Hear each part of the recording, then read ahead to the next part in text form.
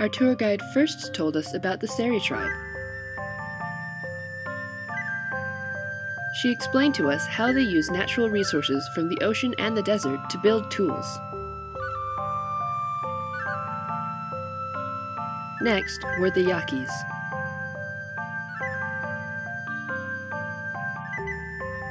We learned that the Yaquis believed in other spiritual worlds.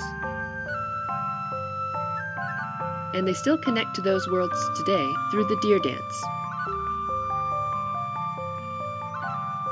Finally, we learned about the Akimel O'odham and the Tohono O'odham.